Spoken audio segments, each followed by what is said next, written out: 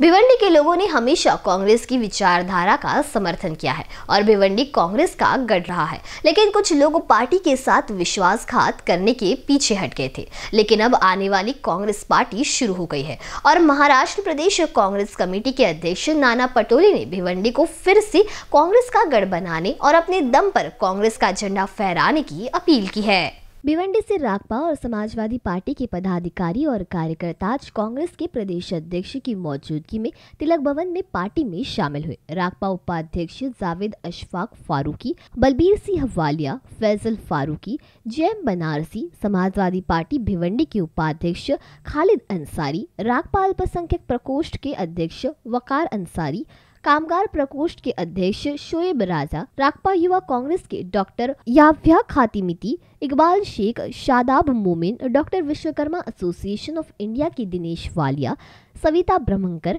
सहित कई पदाधिकारी और कार्यकर्ता कांग्रेस पार्टी में शामिल हुए। महाराष्ट्र प्रदेश कांग्रेस महासचिव एवं भिवंडी प्रभारी मुनाफ हकीम, भिवंडी शहर कांग्रेस अध्यक्ष, पूर्व विधायक राशिद ताहिर मोमिन, पूर्व मेयर जावेद दलवी, प्रदेश महासचिव रानी अग्रवाल, प्रदेश सचिव मनोज शिंदे संतोष केने, पप्पू राका सहित अन्य पदाधिकारी मौजूद रहे। कांग्रेस में शामिल होने वाले सभी लोगों का स्वागत करते हुए नाना पटोले ने कहा कि भारतीय जनता पार्टी और प्रधानमंत्री नरेंद्र मोदी का असली चेहरा अब लोगों के सामने आ गया है।